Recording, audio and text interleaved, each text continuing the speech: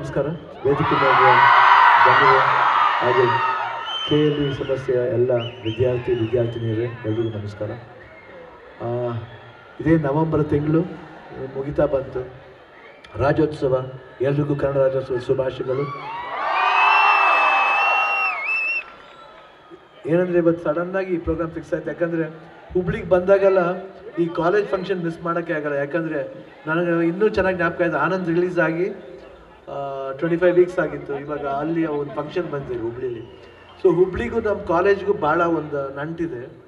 ಯಾವ ಟೈಮ್ ಬಂದರೂ college function ಬರಬೇಕಂದ್ರೆ, ಯಾಕಂದರೆ ನಾನು ಆನಂದ್ ಆನಂದ್ ಆನಂದ್ ಬರಬೇಕಾದ್ರೆ ನಾನು ಕಾಲೇಜ್ ಸ್ಟೂಡೆಂಟಾಗಿ ಬಂದಿದ್ದೆ ಆ ಪಿಕ್ಚರ್ನಲ್ಲೂ ಸೊ ಇಲ್ಲಿ ಬಂದಾಗ ನಿಮ್ಮ ಒಂದು ಗುಂಪ ನೋಡಿದಾಗ ನಮಗೂ ಆ ಕಾಲೇಜ್ ಡೇಸ್ ಹೋಗೋ ನನಗೆ ಬರುತ್ತೆ. ನಮ್ಮ ಕಾಲೇಜ್ ಡೇಸ್ ಜ್ಞಾಪಕ ಬರುತ್ತೆ. ಭಾಳ ಖುಷಿ ಆಗುತ್ತೆ. ಬಟ್ ಏನಂದರೆ ನಾವು ಇವಾಗ ಬಂದಿರೋ ಉದ್ದೇಶ, ಏನು ನಮ್ಮ ಶಶಿಕುಮಾರ್ ಅವರು ಕಮಿಷನರ್ ಬಂದು, ನಾವು ಬರಬೇಕಂದಾಗ ನಮ್ಗೆ ಭಾಳ ಸ್ನೇಹಿತರು ಅವರು.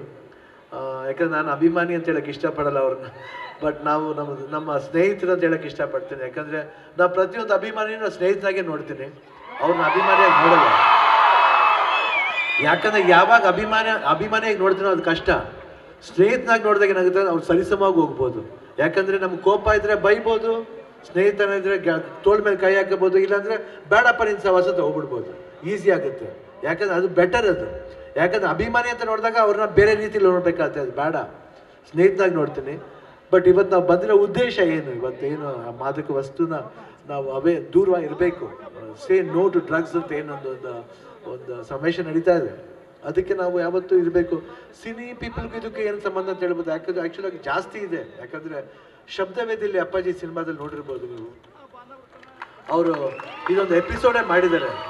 ಅದು ಎಷ್ಟು ಚೆನ್ನಾಗಿ ಮಾಡಿದ್ದಾರೆ ಅಂದರೆ ಭಾಳ ಅದ್ಭುತವಾಗಿ ಮಾಡಿದ್ದಾರೆ. ಯಾಕಂದರೆ ಅಪ್ಪಾಜಿ ಆ ಏಜ್ಲಿ seventy two seventy three years ಇರ್ಬೋದು. ಅವಾಗ ಆ ಸಿನಿಮಾ ಮಾಡಬೇಕಾದ್ರೆ ಜನರಿಂದ ನಾ ಮೇಲೆ ಬೆಂದೆ, ಜನರಿಂದ, ಜನರ